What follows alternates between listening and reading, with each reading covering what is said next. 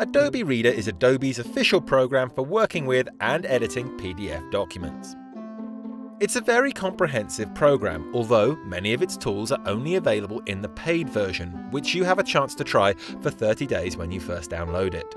In this video, we will look at some of its editing tools so you can master the program and see all of the possibilities that it offers. The free Adobe Acrobat Reader includes options to add text so you can, for example, fill out forms. When you open the PDF document, you should go to the Fill and Sign tool. This tool not only allows you to add text where you want, but also easily check boxes and add circles, lines or pointers. You can place these wherever you want and resize them as you wish. You can also add digital signatures.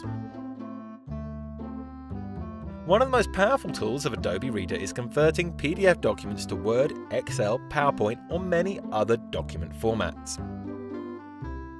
To do this, open the document and click Export PDF. Next, choose the output file type you want, and Adobe Reader will convert it to whatever you need. This is one of the most interesting tools of the paid Acrobat Reader. To delete, insert, extract, add or rotate pages in your PDF with Adobe Reader, you have to have a paid subscription or be using the 30-day trial. When you open the PDF document, you need to go to the Organize Pages tool. Rotating pages can be done from the document preview. To delete a page, select it and click Delete. To replace a specific page, select it and click Replace.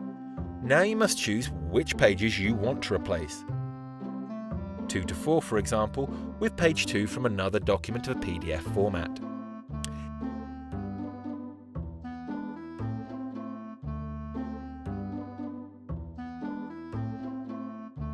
If you want to remove pages, first select them and press Extract. You then have two choices. Remove and delete the pages or extract it to be saved in a separate file. If you select the second option, a PDF will automatically be created containing the pages. Inserting pages depends on what you want to insert. When you click on the tool, you'll see your options. Insert file from clipboard, scanner, web page, or include a blank page. If you choose to insert a page from a different file, you must decide the page that you want to add, then simply drag it to where you want it in the document. Remember, after all this, you must save your document to keep the changes. To add a bookmark in Adobe Reader, go to the Bookmark tab. Then select where you would like to put the marker, and select Add New Marker. Once done, you can name it with something memorable. Then you have your marker created. You can only do this in the paid version, but do remember that 30-day trial.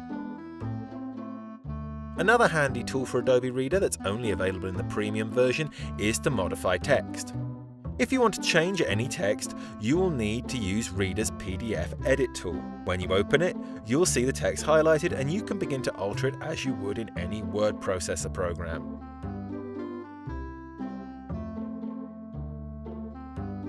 To change the language of Adobe Reader, you must go to Edit. There, look for Preferences and click. When you find the language selection, you will see that you have three options. The current language, choose the language next time you start the program, or use the same language as the operating system. The fact is, if you have not previously installed the program in another language, these options don't do that much.